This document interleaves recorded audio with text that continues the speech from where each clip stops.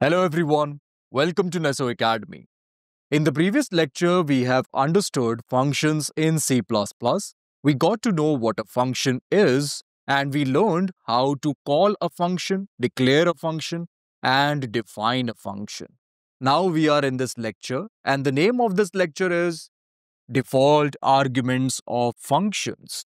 So without any further delay, let's get started with this lecture and let's see what are the topics.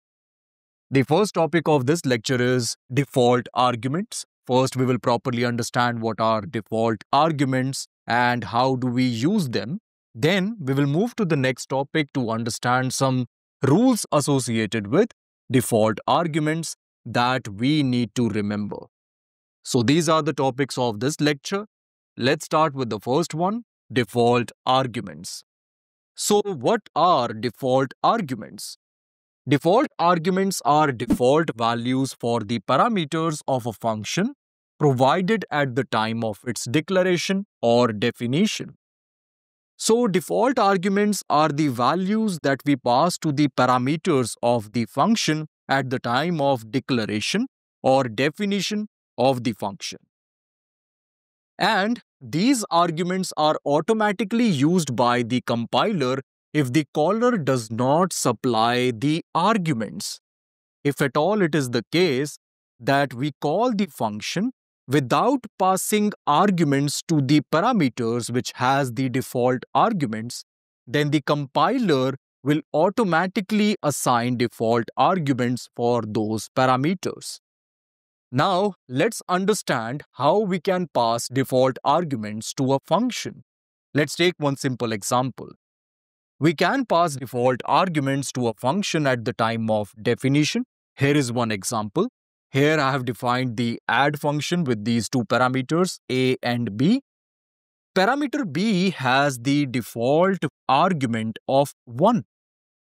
Here the default argument is provided with the help of the assignment operator. This is how you can pass the default argument to a specific parameter. So when we call this function, and if we choose to not provide the argument to this parameter, then we can do this. In that case, the compiler will automatically assign this default argument to this parameter. So this is the definition of the add function. Here we can observe the body of this function has return a plus b. So this function will return the result of a plus b. As mentioned already, we can provide default argument to a specific parameter at the time of the definition of the function or we can provide default argument at the time of declaration like this. Here is the declaration of the add function. You can observe the semicolon at the end. Here you can observe the default argument to this parameter b has been passed at the time of declaration. Here is the definition of this function and in the definition you can observe the default argument is not provided to b. This is because of the rule that we need to follow in case of default arguments.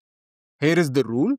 Give default arguments either in the declaration or definition, not both. This is the reason that when I have provided the default argument at the time of declaration, then I have not provided the default argument at the time of definition. We need to follow this rule. We can either give the default argument to a parameter at the time of definition or at the time of declaration, but not both. Here is one more important point to understand. We cannot use list initialization to provide the default argument. We need to use the copy initialization. Here I have used the assignment operator to provide the default argument. We cannot use list initialization here. Now let's see how to call these type of functions. Here is the call to this function I have called this function add with two arguments 2 and 3.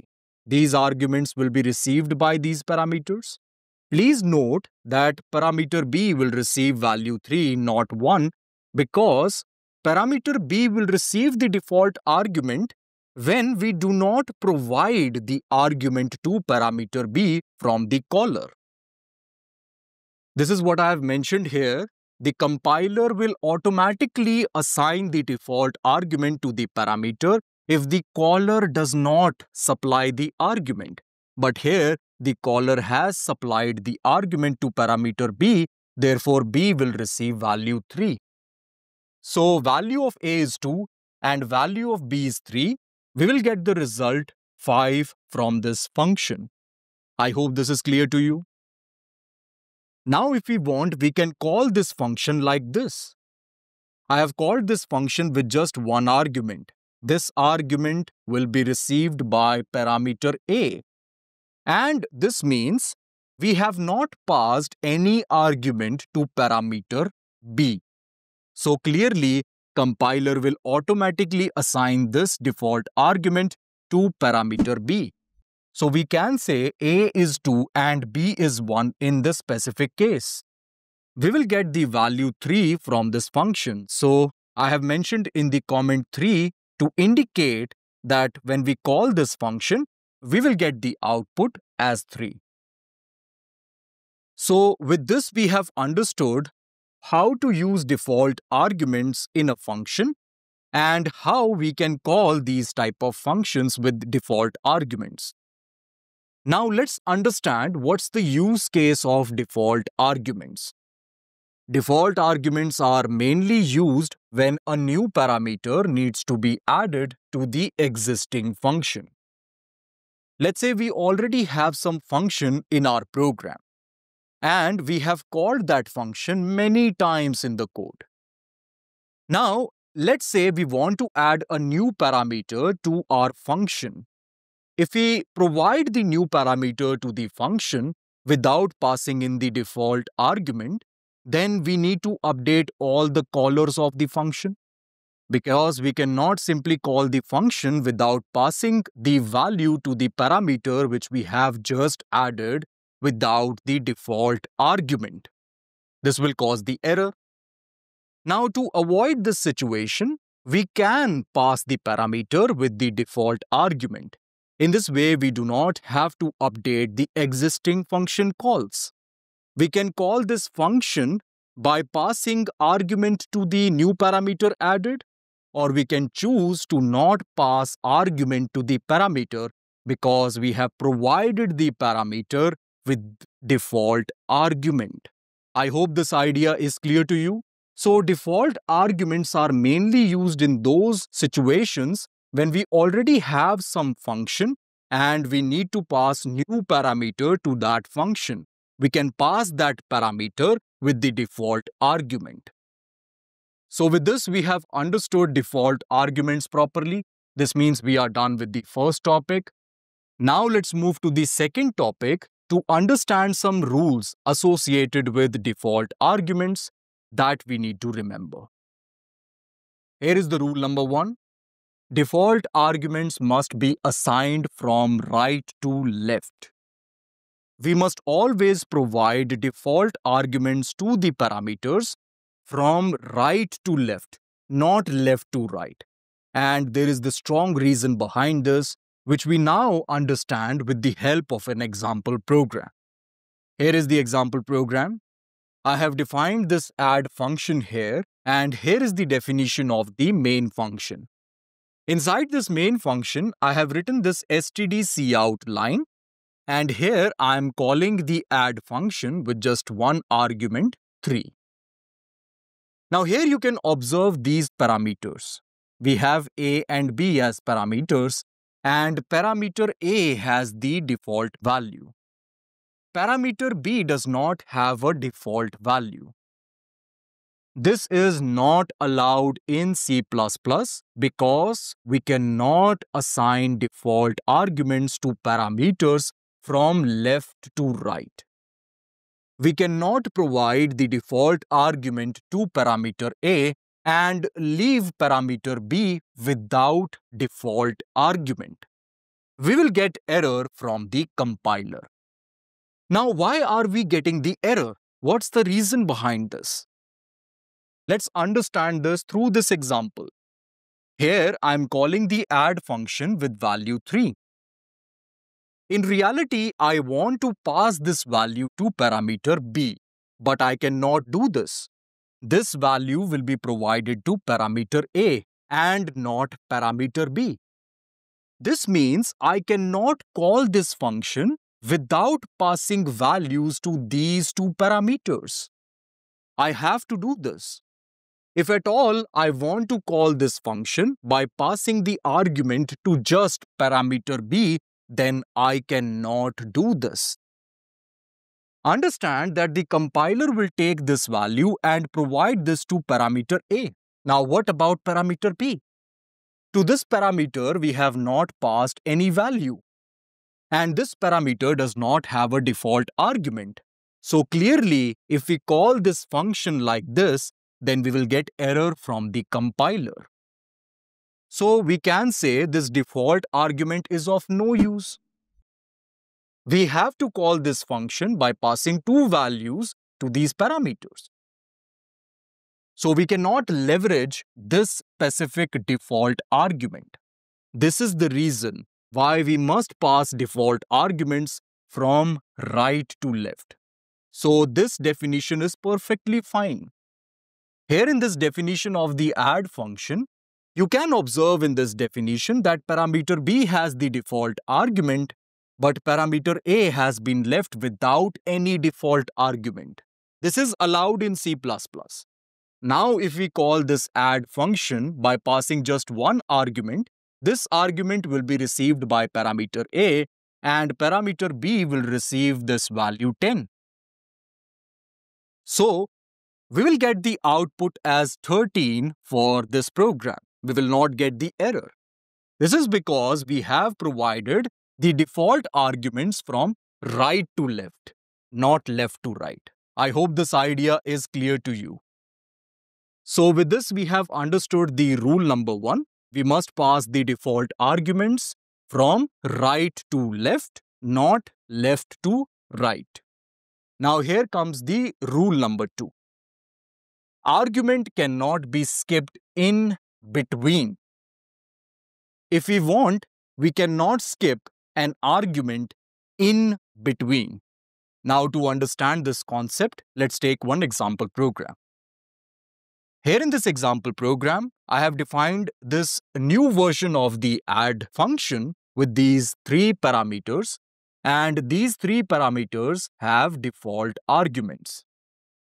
Now here is the definition of this function. Here I have written return a plus b plus c. So I want to add the values of these parameters and I want to return the result to the caller. Here is the main function and here is the std cout statement with this call to the add function. Here you can observe that I am skipping an argument in between. This means I am skipping the argument which I need to provide to this parameter b. This is not allowed in C++. This syntax is not correct. We will get error from the compiler. We cannot even do this. We cannot pass arguments to parameter B and C without passing argument to parameter A. Here also we will get error from the compiler. When we need to pass arguments at the time of calling the function, we must pass the arguments from left to right. That's the rule we need to follow. We cannot skip the arguments in between. And we can also not skip the first argument and provide arguments for the remaining parameters. We can call this function in these ways.